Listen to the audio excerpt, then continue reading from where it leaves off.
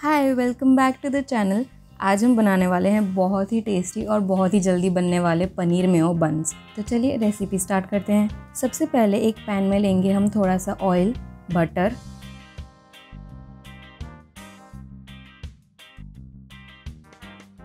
और जैसे ही बटर गर्म हो जाए, इसमें अब डालेंगे कैप्सिकम यहाँ पे मैंने तीन से चार कैप्सिकम को फाइनली चॉप कर दिया है।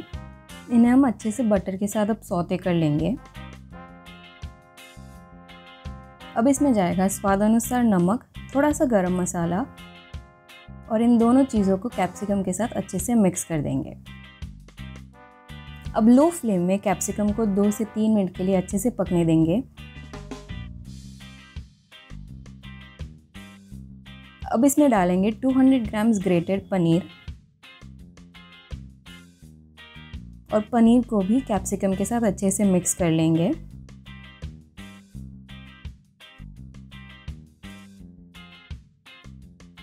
और अब ऊपर से थोड़ा सा चाट मसाला और धनिया डाल के एक बार अच्छे से मिक्स करेंगे और इसके बाद हमारा ये फिलिंग तैयार हो जाएगा।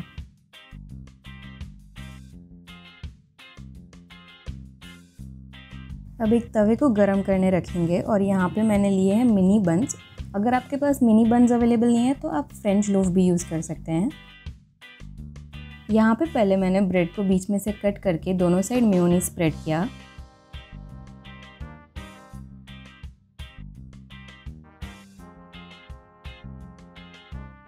और अब इसमें हम डालेंगे हमारी प्रिपेयर्ड की हुई पनीर वाली फिलिंग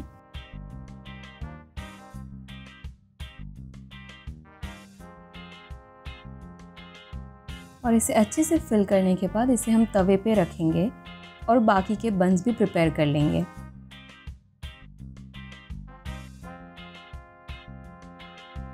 और दोनों साइड बटर लगा के हम लो फ्लेम में इन सभी को अच्छे से सिकने देंगे.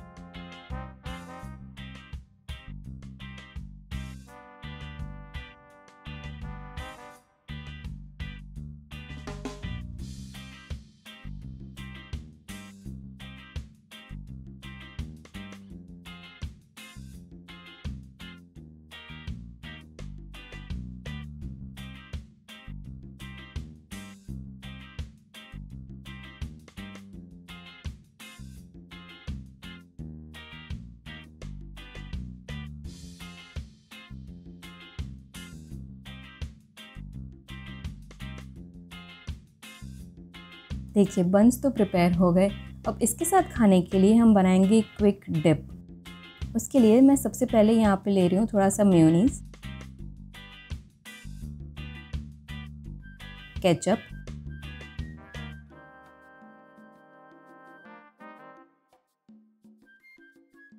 और इसमें डालेंगे ऑरिगेनो चिली फ्लेक्स और मिक्स हर्ब्स और बस इन सभी चीज़ों को एक बार अच्छे से मिक्स कर देंगे और हमारा डिप भी प्रिपेयर हो जाएगा।